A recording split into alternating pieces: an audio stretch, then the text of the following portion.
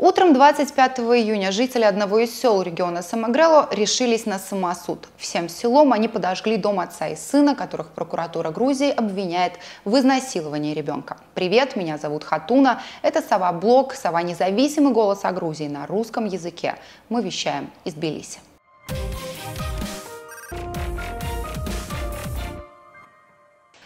Так горел дом, где жили два педофила. 65-летний отец и его 35-летний сын, которым сегодня грозит от 15 до 20 лет лишения свободы. По данным МВД Грузии, в течение двух лет они систематически насиловали соседскую девочку. Рассказать о происходящем родителям она боялась. Мужчины угрожали расправой. Открыться маме решилась только после того, как начались сильные боли. Мать заявила в полицию. Потом выяснилось, что девочка не первая жертва.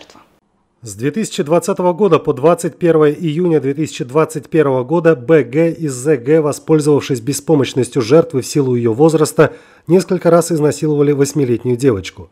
Также было установлено, что 21 января 2018 года ЗГ, воспользовавшись беспомощностью потерпевшей в силу ее возраста, совершил еще один акт насилия сексуального характера в отношении девятилетней девочки – БГ и ЗГ угрожали убить пострадавших несовершеннолетних, если они кому-либо расскажут о случившемся.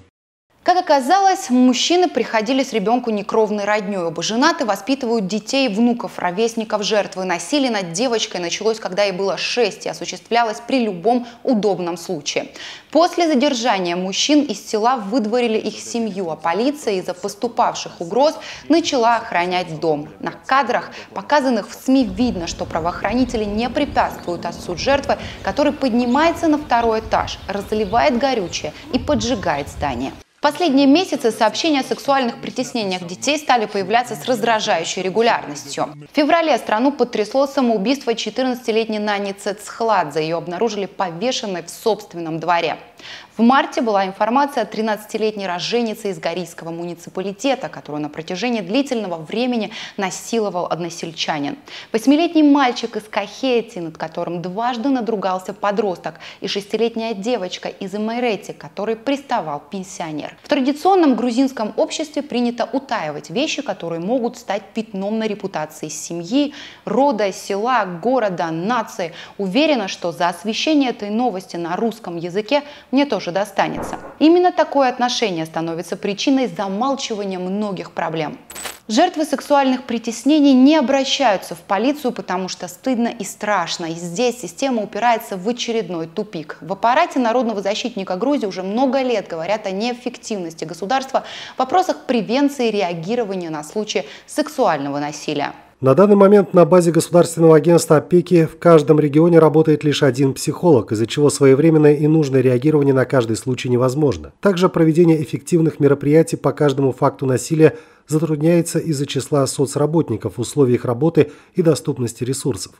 Число профессионалов, работающих по делам сексуального насилия, значительно меньше, чем это необходимо. В марте в Грузии прошел марш тысячи родителей, которые, среди прочего, призывали власти увеличить количество психологов и соцработников, а также сделать половое воспитание частью системы образования, чтобы дети могли идентифицировать и впоследствии защитить себя от сексуального насилия.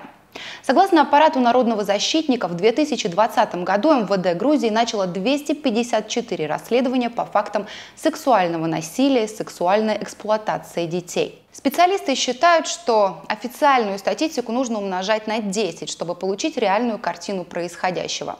В чем причина подобных случаев? Почему ни государство, ни общество, ни семьи не оказались готовы защищать детей? Очевидно, что проблема в нас самих. Мы готовы злиться на моральных уродов, с удовольствием наблюдая за полыхающим домом и в глубине души жалея, что в нем не оказались насильники, забывая о христианской морали, которой апеллируем каждый удобный момент. Но что мы делаем, чтобы предотвратить подобное? Вы смотрели Сова Блог. Не забудьте оставить комментарий и поддержать нас лайком. До следующих выпусков.